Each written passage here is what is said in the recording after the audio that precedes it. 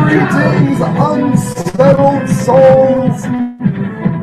Welcome to the correct views. It has been to get this show set up today. Every possible technical glitch possibly befall a man. It has befallen me, but you know what? We have, um, I want to give a shout out. Everything I tell you. I want to give a shout out to everyone who's been hitting share and like and following these Fukushima updates. For those of you that are new to it, one of my New Year's resolutions is to start each Fukushima update this way. If you are familiar with what Fukushima is, don't worry, it lasts a minute. In 2011, unfortunately, a nuclear meltdown, you know what that is, when the uh, we all know what a nuclear meltdown is when, when the reactor gets so hot that there's almost no containment for it. We have had a melt through when it goes through the containment vessel and, we have had a melt out, which is a nightmare that's not normally talked about. A melt out is uh, when the core, for whatever reason, in this case, it explodes and goes all over. There's like a black goo residue all over the uh, in Tokyo and the surrounding areas. Well, that's why. Melt out. Why does it matter? Cancers, heart disease, Lou Gehrig's disease. Shuts your immune system down so you get every disease that comes down the pike. People say, Oh, well, I'm not afraid to die. I don't need to listen to Sam's show. Let me tell you something. It's not that you're going to die. It takes a very long time for you to die of this. It matters because it's going to sicken your life and cheapen your life. And there are things you can do. I mean, uh, we've covered it before. I'm not going to go over all of it again, but for one thing, try to hit 3,000 uh, milligrams of vitamin C a day. Washington's blog, no, it does not cure radioactive harm, but it prevents some of it. Declassified U.S. government report prepared a week after Fukushima accident. 100%, that is all for you Usher fans. 100% of the total spent fuel was released to the atmosphere from Unit 4. Um, there were four reactors that went red at Fukushima. Again, welcome aboard, new listeners. Um, when this happened, we don't know to what degree it happened. We know that it's been hidden from us. And uh, a good example of the differences that we've seen in other nuclear issues versus this one. We can go real quick. Um, Windsor, uh, Britain, when uh, their nuclear weapons factory melted down, they immediately stopped milk consumption in the area. They've done no such thing in Fukushima. And this is infinitely worse. Uh, we've covered on here where major physicists have said that it would actually have been better if a small nuclear exchange had happened in terms of mass fallout. Now, I don't mean it'd be better if the town got bombed. I mean in pure numbers. What I'm saying, I'm not, I'm not nuts. But what I'm saying is that it would have been healthier for the environment as a whole to have had a small limited nuclear exchange than to have this happen in Fukushima. It is that bad. It is really that bad. Washington's blog. We reported in 11 that the International Atomic Energy Agency knew within weeks, there's a link right there on FactCam, that Fukushima had melted down, but failed and refused to tell the public. The same year, we reported in 11 that the U.S. knew within days that the Fukushima accident had had a full blown meltdown. Well, I hate when they write stuff twice. The fuel pools and rods at Fukushima appear to have boiled caught fire and or exploded soon after an earthquake knocked out power systems. And there's uh, five links right here, right? Go to the article. Five freaking links right there. There you go. You know, me, Sam's making it up, right? Sam's crazy. No, I'm not crazy.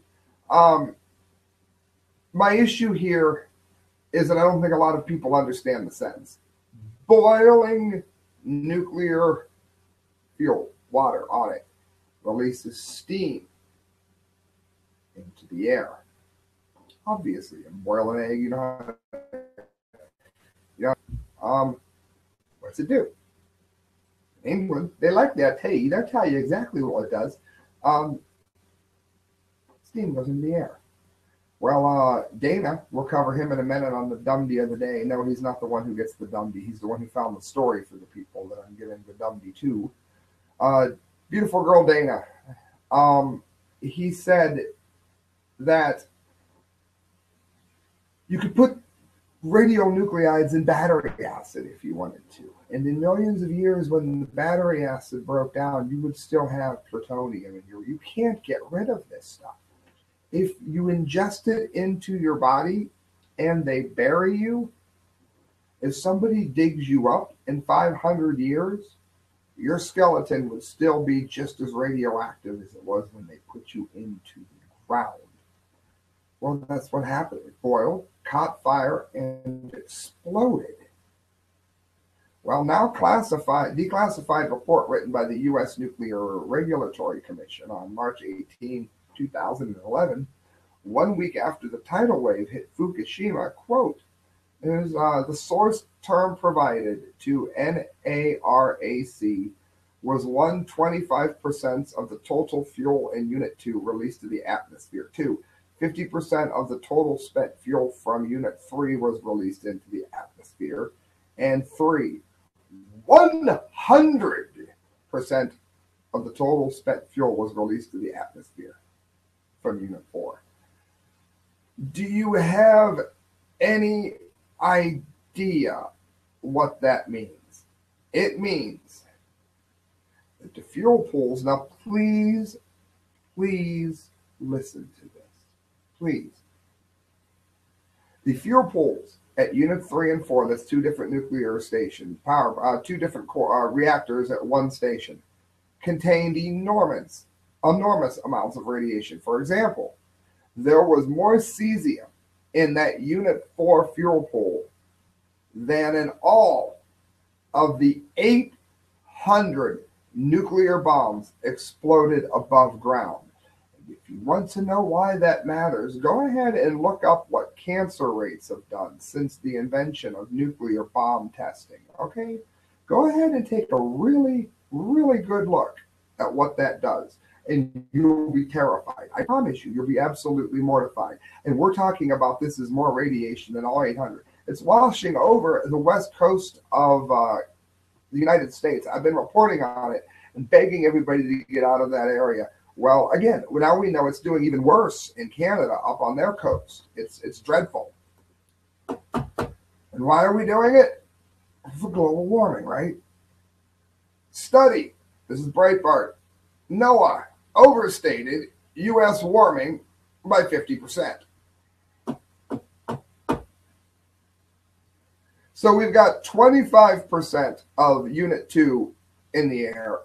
We've got 50% of Unit 3 and all of Unit 4. This is supposed to help global warming. Now, I, I, do not believe in global warming, and I've gone over why for a million times. You're better off believing in Santa Claus. It's not happening.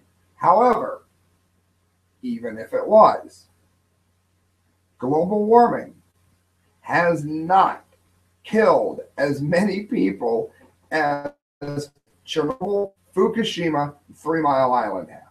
It's true. And they're going to say, well, you know, only 9,000 people are thought to have died from Chernobyl.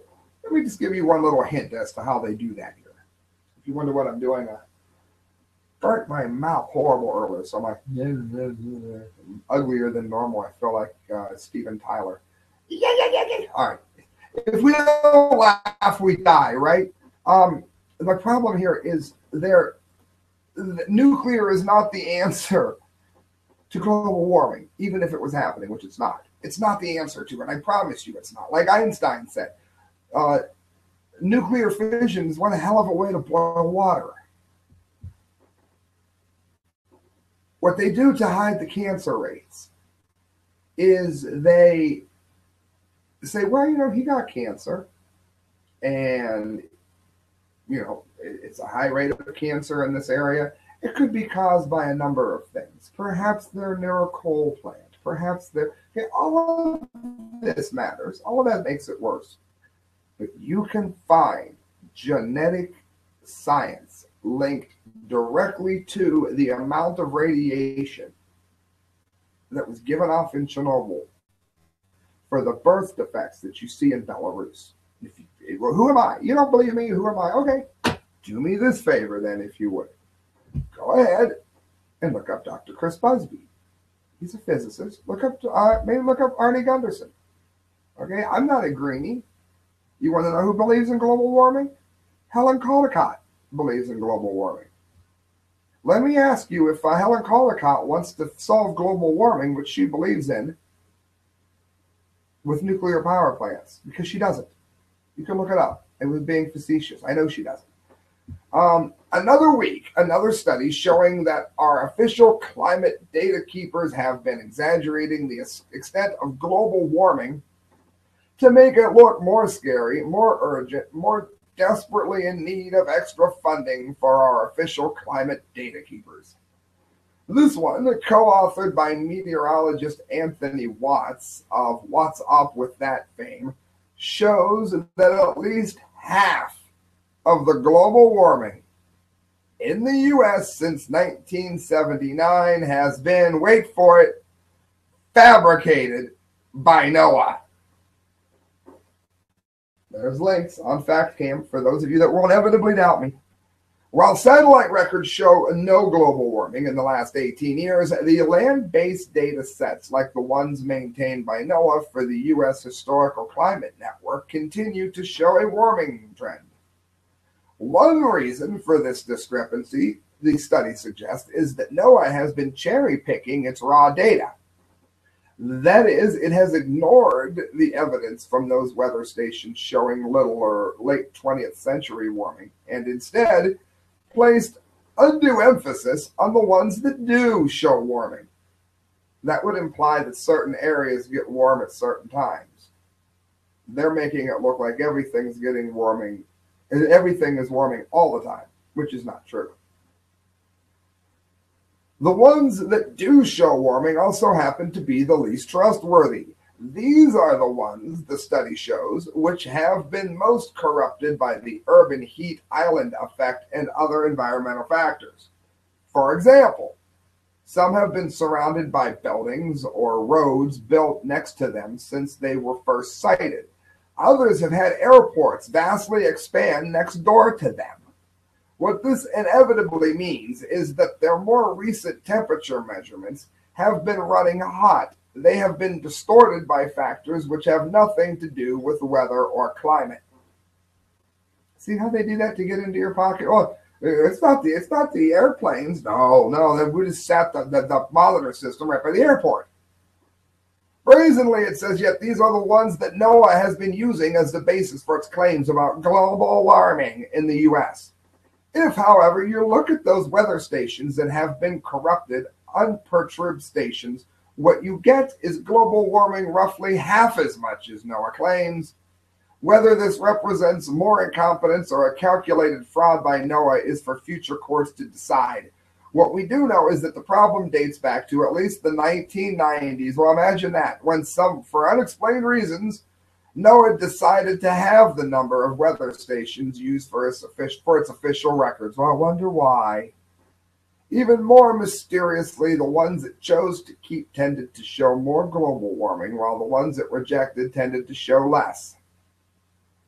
It must be emphasized that the perturbed stations dropped from the USHCN set show significantly lower trends than those retained in the sample both for well and poorly sited set station sets. Perhaps it says we should be generous to NOAA and put their decision to favor compromised weather stations over accurate ones down to a spectacular stupidity and incompetence. Then again, let's not forget NOAA, in in common with friends such as NASA and GISS, I've gone over this, has long been in the hands of fervent climate alarmists with a point to prove. For them, it is an article of faith that the planet must be warming dramatically in the last 30 or so years. Because if it wasn't, then bang goes their theory that man made carbon dioxide emissions are inexorably and catastrophically driving up the world's temperatures. And if the real world evidence doesn't point the way they want, well, hell, then maybe it needs to tutoring till it does point the right way.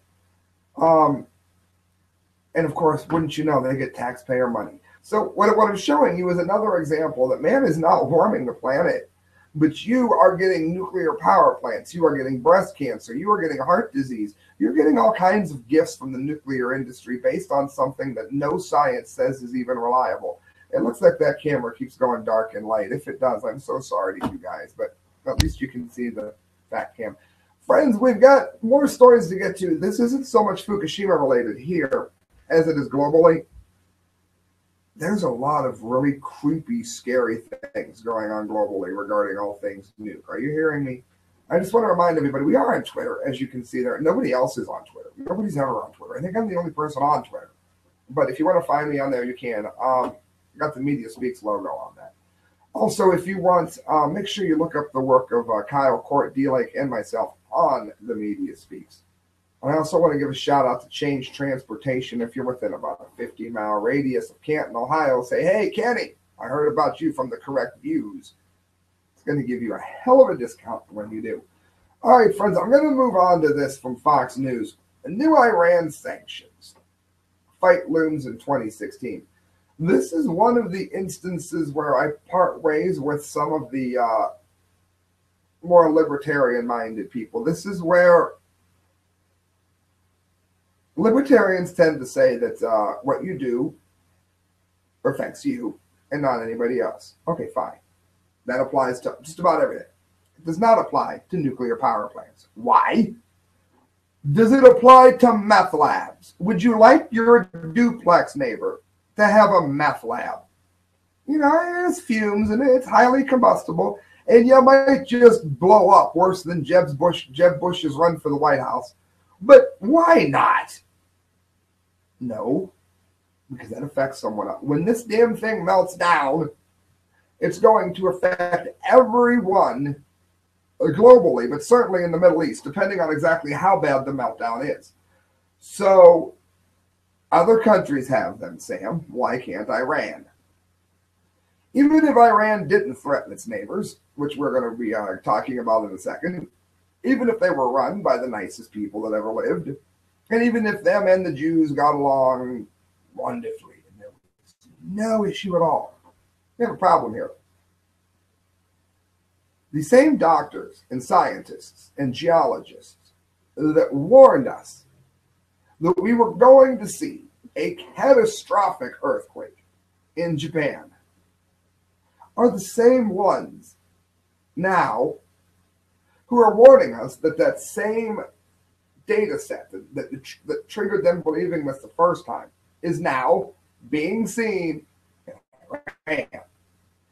Therefore, regardless of any political turmoil, regardless of any Jews, regardless of any Islamists, regardless of the fact that Iran wants to use them against just about everybody in the world, if none of that was true, you would still have the exact same issue dealing with the coming earthquake.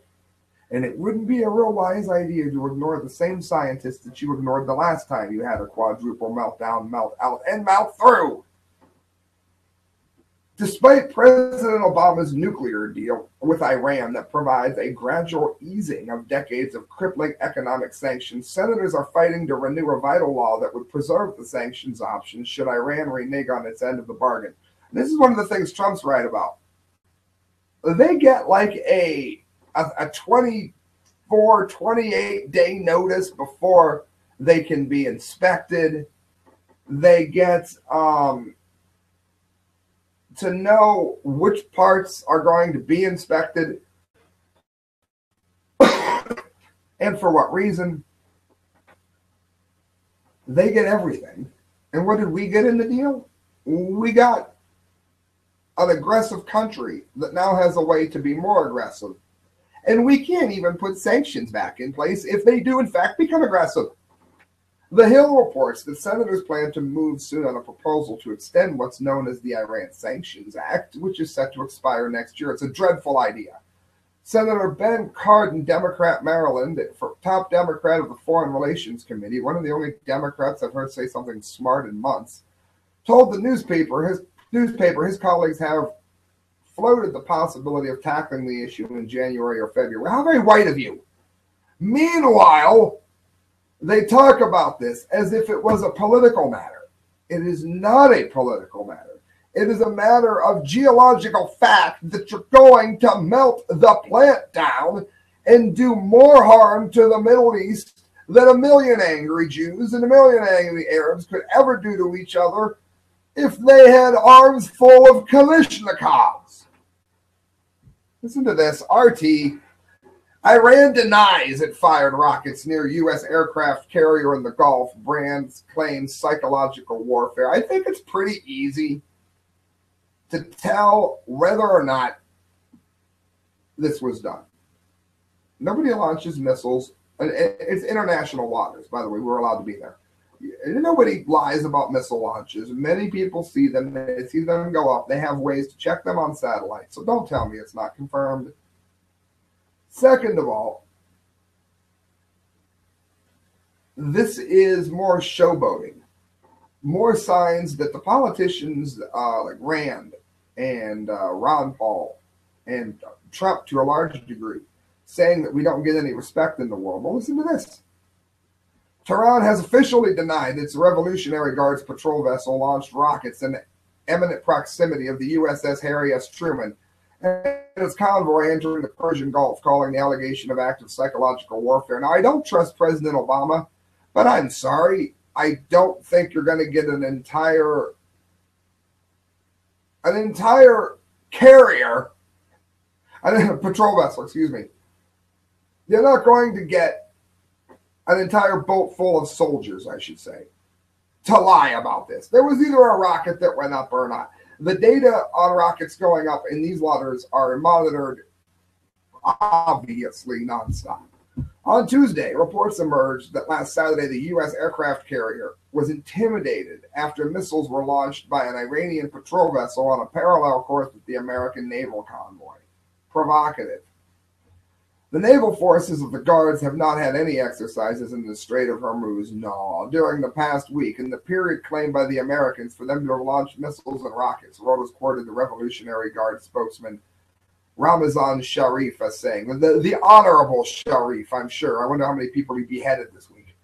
The alleged dangerous missile launch was reported by NBC News, which cited two unnamed U.S. military officials as saying the USS Harry S. Truman was about 1,400 meters away from Iranian vessels, which launched two missiles as part of naval exercises. You know what? This is not a country that I think is heading in the direction of great and peace uh, and love and friendship. This is uh, Michael Savage mentioned this uh, many years ago. We all know what horrible things ancient Persia did. Well, Iran and Iraq used to be Persia, and then being uh, divided within their own religion to such a degree and with such vehement hatred, it has kept Persia apart. Now that Iraq has fallen and Iran is absorbing it, what you're getting is another Persia. And what you're getting is the same evil that you had in Persia. Slashgear.com, and this was the worst news. Your next flight might include a mandatory trip through the body scanner. Let them try it. I won't hurt anybody. I won't fight anybody. I won't break any rules. I won't do anything that would get me banned. Nothing like that. So don't try to bend and twist my words. But no, no, you can pat me down. No, these are cancer machines. Do you understand me? These are not radiation machines, these are cancer machines. First of all, there is no safe dose of radiation. Second of all, it is not comparable to the flight itself. And even if it was, why would you double dose yourself? And second of all, it's a different kind of radiation. And four, who do you even know that calibrated this? Your next flight might include a mandatory trip through the body scanner, even though we saw TSA agents getting cancer at unbelievably high rates last time with the U.S. government quietly changing the opt out rules for searches. In a document published earlier this month, the Department of Homeland Security outlined an update for the advanced imagery technology protocols used by the TSA. They're trying to make it mandatory to go through these backscatter radiation machines. And guess what? They are being sued, and I'm glad they're being sued. This is, look at this. 177 likes. ENC. Oh, fuck no. These machines are dangerous to your health. None of them are safe. There's a reason that's the highest rated comment. Because people like me are out here warning other people. People like you, you know what you're doing? You're hitting share. Really, I did all this work for you. Do me a favor, hit the share button, hit the subscribe button. Tell people to listen to it. If they hate me, then tell them to look at the sources. They're all on the screen. This isn't imaginary. This isn't something I'm doing because I don't have anything better to do. I just set the whole thing up myself today. Christelle isn't even in the studio. It wasn't an easy task. It wasn't an easy task to grab all these stories. You know what? It's worth it. So share it. It's important. It's going to be important to you the next time you get fly. Next time you fly. Another thing, how do they know how many X-rays you've already had? Some people with cancer and that can't take any more damn radiation. Oh, through the machine. Ridiculous. Speaking of ridiculous, freaking Putin, Vladimir Putin, RT. Hopefully, no nukes will be needed against ISIS, says Putin. All right. So ISIS is taking over innocent villages, and Putin, yeah, hopefully, we won't nuke them. What the hell is wrong with you people that love Putin so damn much? He's a one world order KBG cast off. No, I don't like Obama. No, I don't like Bush. That's not what I'm saying, but I'm telling you I also don't like Putin. Okay, what, what if what if uh oh god. What if President Bush had said, hopefully we won't have to use any nukes in Iraq? everybody would have been justifiably furious. Well, listen to this. Vladimir Putin, who for some reason all of you love, has praised the Russian cruise missiles fired against terrorists in Syria from the sea. He expressed hope that these weapons would not have to be armed with nuclear warheads. All that work and that camera died anyway. Meeting in the Kremlin with Defense Minister Sergei Shoigu who reported the latest results of the anti-Islamic State ops in Syria. The Russian president made a notable remark. Notable. I have another word for it, but we'll go with notable. We must analyze everything on the battlefield, how the weapons operate, the Kalibrs, that's the sea-based cruise missiles, and the KH-108, which is the airborne cruise missiles, have proved to be modern and highly effective, and now we know it for sure precision weapons that can be equipped with both conventional and special warheads, which are nuclear, Putin said. Naturally, this is not necessary when fighting terrorists, and I hope will never be needed. So, does he mean never needed again? Too. It's never needed. You know what? Obama has been egging on Putin, and Putin has been egging on Obama. Do you understand Putin? I don't like Obama, but this was wrong. Okay, this is still wrong. Putin called Obama on the 4th of July and, you know, congratulated him on the holiday, and then promptly sent his warships into our waters. Subs. Damn near could have started a nuclear war. I sent planes into our skies. I want to say the same day. This man is not a friend of peace. I'm still getting a lot from RT odd. Uh, Kim Jong Un says North Korea has the hydrogen bomb it becomes a powerful nuclear state. How is it that after we had 9 11, everybody in this country suddenly wanted to become Islamic? That made no sense to me. How is it after Fukushima, everybody now wants everything nuclear? Why, if I punch you in the face, do you suddenly now want to take uh, self abuse lessons? You start flogging yourself. All right? What the hell? North Korea has now developed a hydrogen bomb and can use it along with nuclear warheads to defend sovereignty, the country's central news agency has reported. Obviously, too stupid to realize that the major threat in terms of, uh, in order for North Korea to shut down South Korea, they would have to nuke Seoul, Korea. Well, right here is Seoul. Right here, over here, Pyongyang. Now, if if North Korea could nuke way over here and hurt South Korea, while a dreadful idea, you would be able to listen to the man talk and not think he's an idiot. But when the country, you can see Seoul from your capital.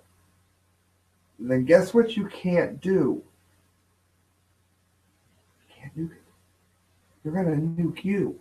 Dummy! We managed to become a great nuclear power capable of defending the independence and national dignity of our homeland by mighty nuclear and hydrogen strikes. Leader Kim Jong un was quoted as saying by the Central News Agency. He also said North Korea has to continue with actively developing its military industry.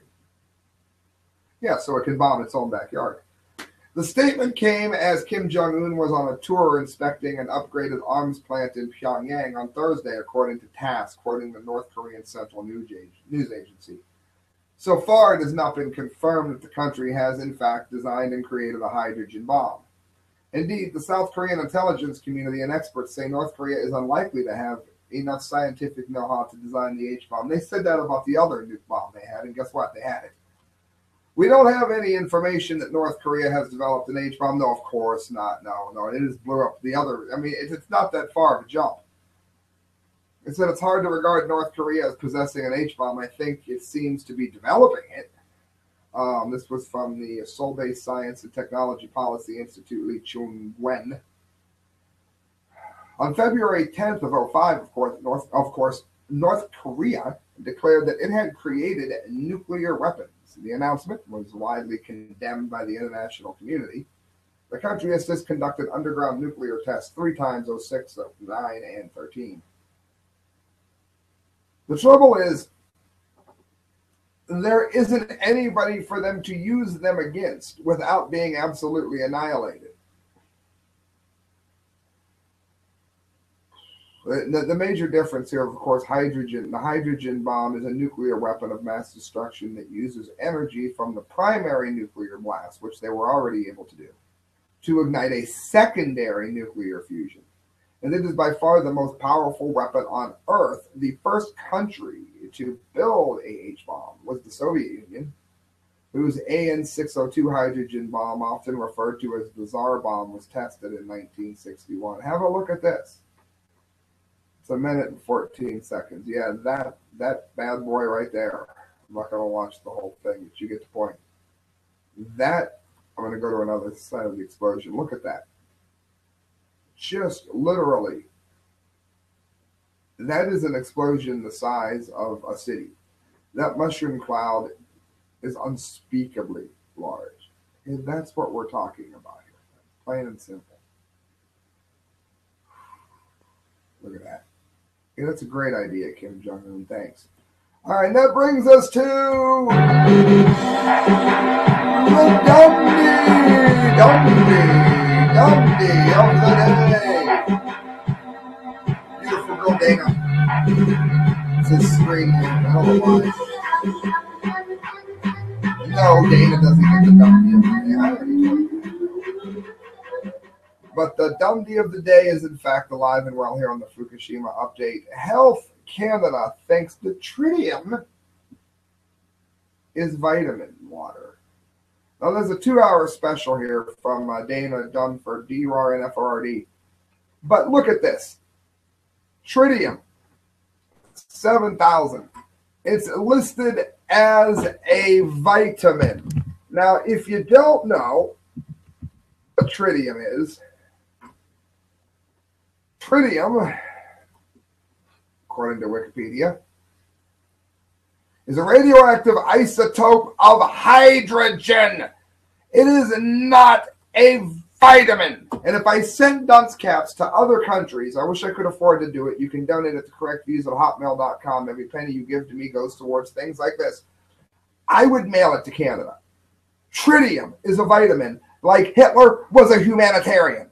Friends, you're listening to The Correct View. Sam I be Di Gangi, done with your massive Fukushima update.